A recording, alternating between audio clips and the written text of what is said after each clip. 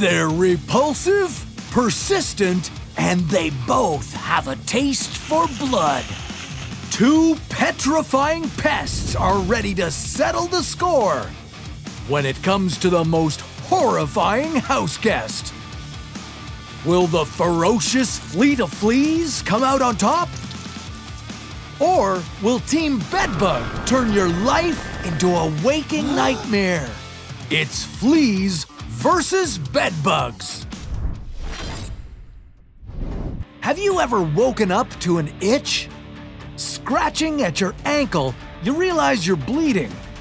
Uh oh, you've got bug bites. An infestation is invading your space. But which vampire vermin are you dealing with? Let's meet our competitors. First up are the formidable fleas. These tiny terrors love furry mammal hosts like cats and dogs, but they'll gladly take a bite out of you too. Starting 165 to 290 million years ago, between the Permian and the Jurassic periods, that's when fleas first began consuming animal blood. Oval shaped and measuring in at 1 to 3 millimeters in length, these reddish brown bugs are minuscule but mighty.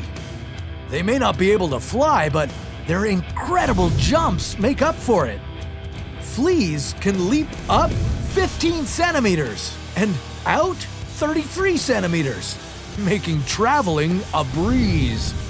In one day, fleas can consume 15 times their weight in blood and lay 40 to 50 eggs. Yeah, these bugs don't waste any time when it comes to invading your home and your body. Our next competitors don't respect your personal space either. They're the beastly bedbugs. Emerging over 100 million years ago, bedbugs may have latched onto bats first, although researchers suggest they had an earlier host. Bedbugs prefer human hosts, and they'll zero in on one person at a time when it comes to feeding habits. They even have favorite body parts like your neck or face. Drinking six times their weight in blood and laying just one egg per day, these tiny 7mm pests can camouflage their flat, seed shaped bodies to blend in with their surroundings. Though they aren't agile or able to fly, bedbugs can crawl an impressive 30 meters in a single night, steadily covering ground to further their invasion. Okay, here's the thing about bedbugs they aren't necessarily the result of a dirty or city environment.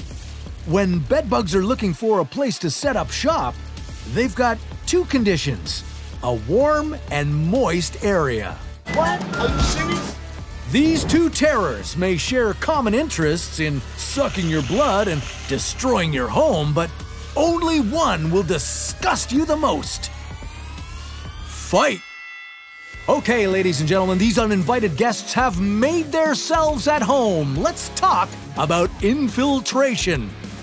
Bedbugs are expert hitchhikers, riding on your luggage and clothes in an attempt to join your family. Their hairy legs and feet make them incredible climbers and allow them to latch onto almost anything.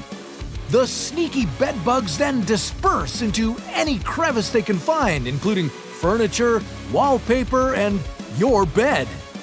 Fleas can invade your home in the same ways as your competitors, but they like to crank it up a notch by clinging on to what you love most your pets. Oh, that's a low blow. Now, to really get your skin crawling, bed bugs leave small, welt like marks in itchy lines or clusters. Even freakier, these bites don't appear right away and may not cause symptoms. Carbon dioxide attracts bed bugs, and you release it from your body, especially while sleeping. Now, thanks to a numbing anesthetic in their saliva, their bite won't even wake you.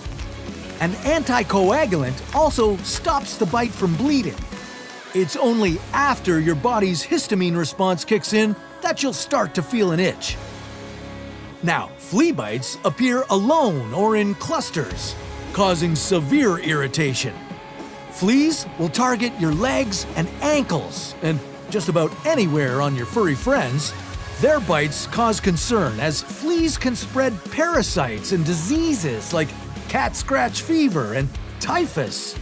And it gets worse. In the 14th century, fleas spread Yersinia pestis, the bacteria responsible for the bubonic plague. After feeding on infected rodents' blood, the fleas carried the deadly disease to humans. It killed 25% of Europe's population. Okay, by now you're probably itching to learn how to get rid of these two. Well, to eliminate bed bugs, a deep clean is in order. A heavy infestation means throwing out your mattress, sofa, and bedding. Removing clutter and cleaning every corner is essential to a successful eviction. Professional fumigation or heat treatment by a professional is often necessary too. Bedbugs have developed some resilience to insecticide, but they don't stand a chance against enough heat or cold. High temperatures around 50 degrees Celsius and low temperatures around minus 18 degrees Celsius will kill bedbugs and their eggs. After a bedbug infestation, the feeling of uncertainty can have lasting psychological effects. A flea infestation requires treating your home, yard, and pets. It can take weeks to get rid of them. Flea treatment for pets requires time, effort, and a vet's help. All products and treatment methods require regular doses, and you'll have to carefully wash or dispose of your pet's beloved toys and bed. These time consuming and costly methods may not even be fully effective. Fleas have a one to four week long pupal stage, and their silk like cocoon protects them from insecticides. A clean sweep and chemical fumigation may only destroy adult fleas and their eggs, while hundreds of pupae lay in waiting. Yeah, this bug's ick impact is off the charts. The fleas win! Bedbugs have earned their revolting reputation by terrorizing our beds, bodies, and minds. Luckily, their bites are mostly harmless and we can eliminate most infestations. But fleas survive in multiple environments and their bites can spread diseases. But hold on, before the bedbugs tap out for good, let's see how they'd fare against another skin crawling contender cockroaches. We'll see who wins on another round of Versus.